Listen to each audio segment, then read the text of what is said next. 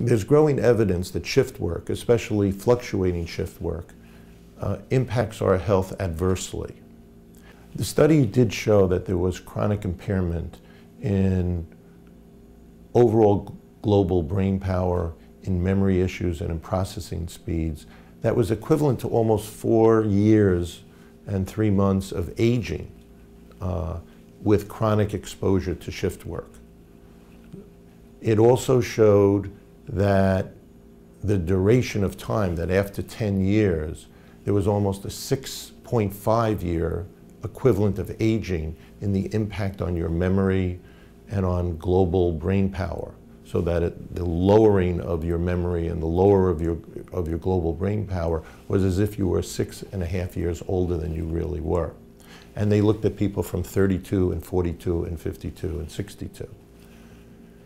But the good news was it also showed reversibility of the cognitive decline, but it took about five years for people to get back to their baseline in terms of memory and global brain power. It did not show the same return on processing speed.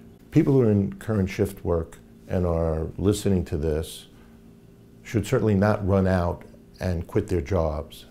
It's important not to panic while we understand that shift work can have an impact on your health, we've also learned that it takes years and even decades to impact on certain permanent changes that could occur. There are certainly interventions that could potentially reverse the cognitive decline as demonstrated by this study. They include stopping the shift work you're in and giving time, duration of time to recover from it. In addition, you need to use what we call grandma's advice. Eat right, sleep right, uh, hydrate yourself, don't self-medicate with alcohol, try to improve your quality of sleep and the sleep disruptions that occur from the shift work by using better sleep hygiene uh, and watching your mood. Uh, you also want to not isolate and you want to be able to work with your family to find a common time that you can get together and enjoy uh, the social contacts. I've definitely seen cognitive decline in shift workers that I've had in my practice after uh, five to 10 years of working in the shift work, firefighters, police officers, healthcare workers like doctors and nurses and others. But it's usually a cumulative toll of the impact of the obesity and the sleep disorder and the personal issues that come from uh, shift work and the disruption of their family life. I've seen a complete reversibility.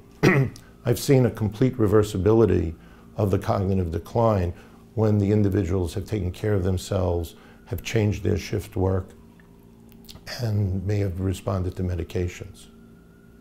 There's also an interesting point that the authors were looking at causality, and they actually said were people who were baseline may have had less cognitive decline to begin with, more able to function in the job and more quickly get out of shift work through promotions or doing other jobs, and therefore left with a population that's more vulnerable to cognitive decline.